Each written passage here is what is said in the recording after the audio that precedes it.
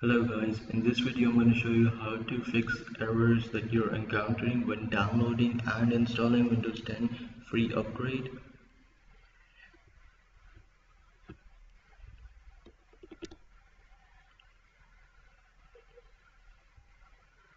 Why is this happening? It's because the files that you downloaded were either incomplete or corrupt as the Microsoft servers are overloaded because of the release of Windows 10.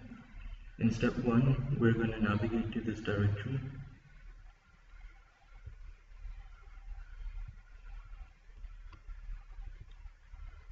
This is a hidden folder, so make sure that you have enabled hidden items so this folder is visible and you're going to go into this folder and delete all the files that are possible you won't be able to delete all of them as some may require administration permissions. In step 2, we're going to navigate to this directory and delete all the contents of that folder also. Again, if some folders do not delete, it's okay, just try to delete all as possible.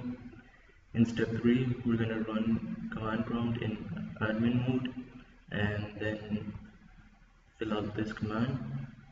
And then you would be able to resume to your Windows 10 installation.